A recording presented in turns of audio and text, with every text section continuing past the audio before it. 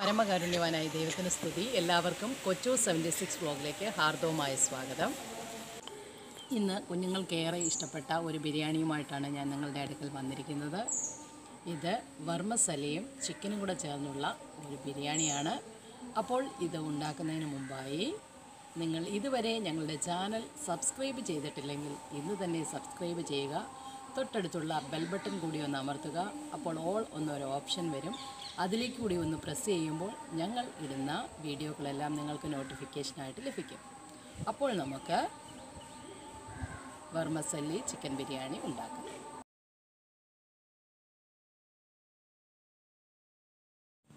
ആവശ്യമായ സാധനങ്ങൾ വർമ്മസല്ലി ചിക്കൻ സവാള തക്കാളി പച്ചമുളക് ഇഞ്ചി വെളുത്തുള്ളി തൈര് ഉപ്പ് നെയ്യ് നാരങ്ങ പുതിനയില മല്ലിയില ഗ്രാമ്പൂ പട്ട ഏലക്ക പെരുംജീരകപ്പൊടി. നെയ്യ് ഒഴിച്ച് നമ്മൾ ഈ വർമ്മസല്ലി ഒന്ന് വറുത്തെടുക്കും. ഇതിലേക്ക് വർമ്മസല്ലി ഇട്ട് നമുക്കൊന്ന് വറുത്തെടുക്കാം.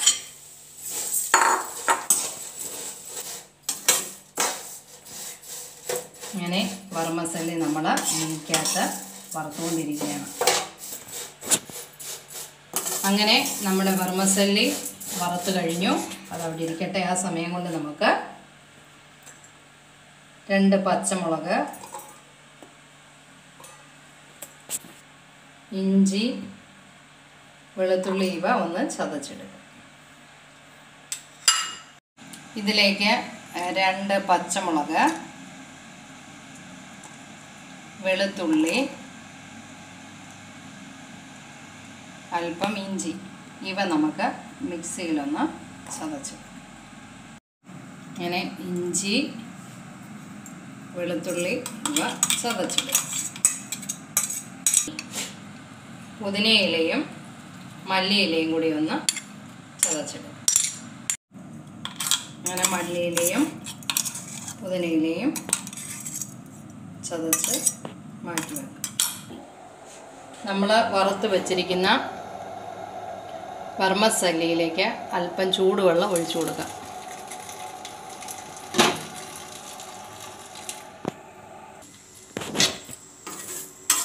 നമ്മൾ വെള്ളം ഒഴിച്ചു കൊടുത്തു. ഇതൊന്ന് വേവിച്ചെടുക്കാൻ വേണ്ടിയിട്ടാണ്. ഇതിലേക്ക് അല്പം ഞാനിപ്പോൾ കല്ലുപ്പാണ് ഉപയോഗിക്കുന്നത്. കല്ലുപ്പ് കൂടി ഇട്ട് കൊടുക്കാം ഒന്ന് വേവിച്ചെടുക്കാൻ വേണ്ടി ഇതിലേക്ക് ഒരു അല്പം നാരങ്ങാ നീര് കൂടി ഒഴിച്ചു കൊടുക്കാം. ഇത് പരസ്പരം ഒന്ന് ഒട്ടാതിരിക്കാൻ നമ്മൾ നെയ്ക്കകത്ത് വറുത്തതാണ്.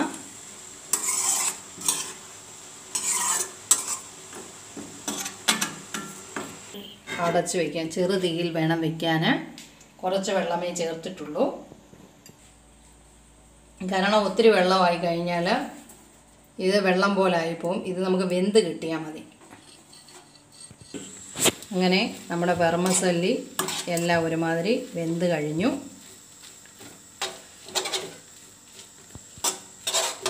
ഒന്ന്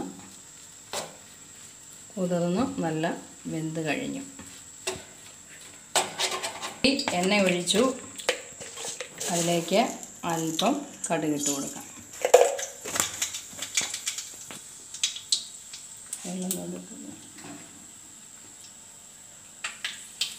ഇതിലേക്ക് നമുക്ക് സവാള ഇട്ട് കൊടുക്കാം.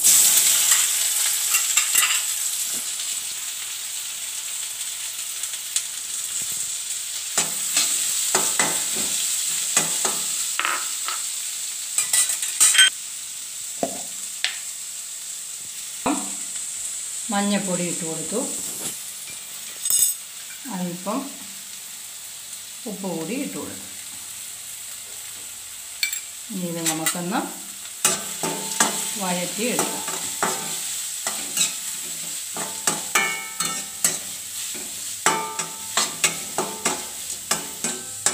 അല്പം ഇത് ബിരിയാണി വെക്കാനായിട്ടാണ് ഞാൻ അല്പം മഞ്ഞൾപ്പൊടി ഇട്ടത്. ഒരു കളറും കിട്ടും. അങ്ങനെ നമുക്ക് ഇത് വഴറ്റിയിടും ഇതൊന്ന് വാടി കഴിഞ്ഞു. ഇതിലേക്ക് പച്ചമുളകും ഇഞ്ചിയും വെളുത്തുള്ളിയും കൂടി ചതച്ച് വെച്ചേക്കുന്നത് ഇടാം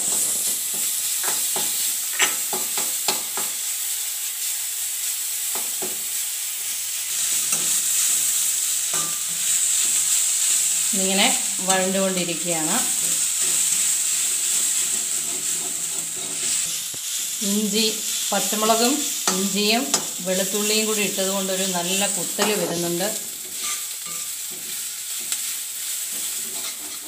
വഴന്ന് വരട്ടെ. ഇതിലേക്ക് അരിഞ്ഞു വെച്ചിരിക്കുന്ന തക്കാളിപ്പഴം കൂടിയിടാം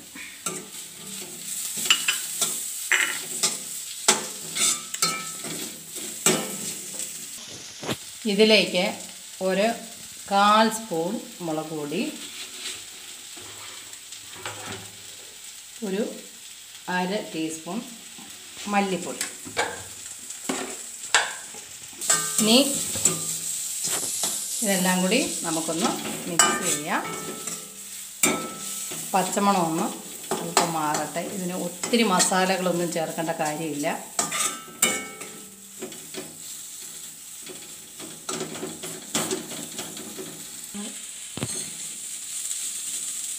ഇനി നമുക്ക് ചതച്ച് വെച്ചിരിക്കുന്ന മല്ലിയിലയും പുതിനയിലയും കൂടി ഇട്ട് കൊടുക്കാം.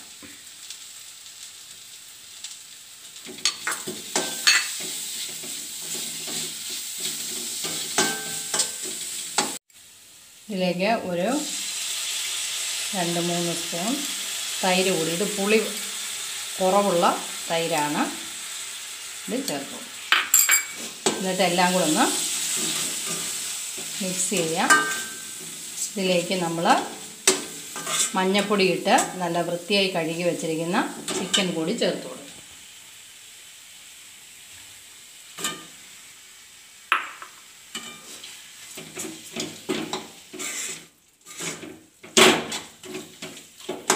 പാകമാണോ എന്നൊന്ന് നോക്കാം.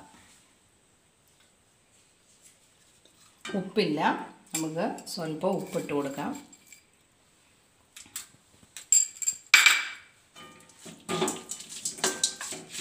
ഇനി ഇത് നമ്മൾ ഒന്ന് അടച്ച് വെക്കുന്നതിന് മുമ്പായി നമ്മൾ എടുത്തു വച്ചിരിക്കുന്ന മസാല ഇതിലേക്ക് നമ്മൾ പൊടിച്ചു വച്ചിരിക്കുന്ന മസാലകൾ ചേർക്കാം.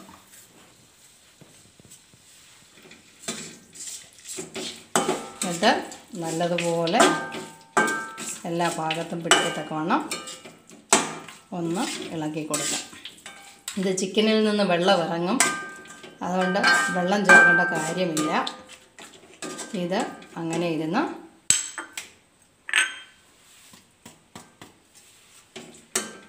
അടച്ചു വെച്ച് കൊടുത്താൽ അങ്ങനെ ഇരുന്നങ്ങ് വേഗം അതിനകത്തുനിന്ന് ചിക്കനിൽ വെള്ളം ഇറങ്ങി അതങ്ങ് വെന്തോളും.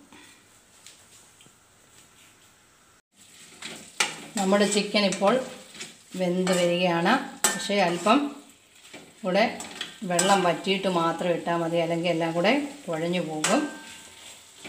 നമുക്ക് വീണ്ടും ഒന്നുകൂടി മൂടി വയ്ക്കാം കാരണം ഇറച്ചിയൊക്കെ നല്ല വെന്തതിന് ശേഷം മാത്രമേ കഴിക്കാവുള്ളൂ. അതുകൊണ്ടാണ്. അങ്ങനെ നമ്മുടെ ചിക്കൻ ഇവിടെ റെഡിയായി ആവശ്യത്തിന് ഉപ്പ് എരിവ് മണം എല്ലാം ഉണ്ട് ഇനി നമുക്ക് ഈ വേവിച്ച് വെച്ചിരിക്കുന്ന കർമ്മസല്ലി ഇതിലേക്കിട്ട് മിക്സ് ചെയ്യാം. അപ്പോൾ എല്ലാം കൂടെ നമുക്കൊന്ന് മിക്സ് ചെയ്യാം. അരപ്പും എല്ലാം നമ്മുടെ ഈ വർമ്മസല്ലിയിലൊന്ന് പിടിക്കണം കേട്ടോ. നല്ല മഞ്ഞ കളറ് ആവശ്യത്തിന് എരിവുണ്ട്. വർമ്മസല്ലിക്കാകുമ്പോൾ ഒത്തിരി എരിവ് നമുക്ക് ആവശ്യമില്ല. ഇതെല്ലാം കൂടെ ഒന്ന് മിക്സായി. നമുക്ക് വേണമെങ്കിൽ അണ്ടിപ്പരിപ്പോ മുന്തിരിങ്ങയോ ഒക്കെ നമുക്കിതിനകത്ത് നെയ്ക്കകത്ത് മൂപ്പിച്ചിടാം. എല്ലാം ഇത് കുഴഞ്ഞിട്ടില്ല. നിങ്ങൾ കണ്ടല്ലോ ഇതെല്ലാം നല്ല ഇതായിട്ടാണ് കിടക്കുന്നത്. ഒന്ന് കൊന്നായിട്ട് കിടക്കുകയാണ്. ഇതിലേക്ക് നമുക്ക് ഒരു സ്പൂൺ നെയ്യ് കൂടി ചേർത്ത് കൊടുക്കാം.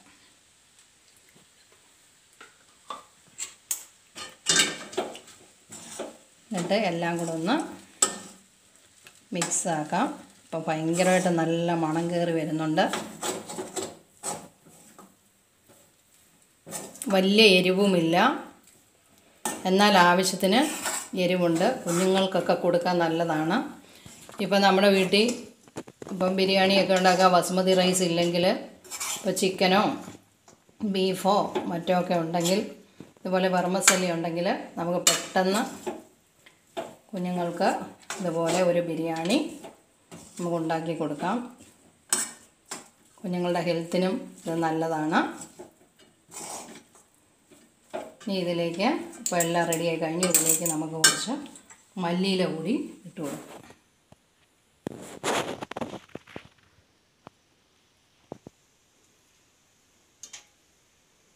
ഇങ്ങനെ നമ്മുടെ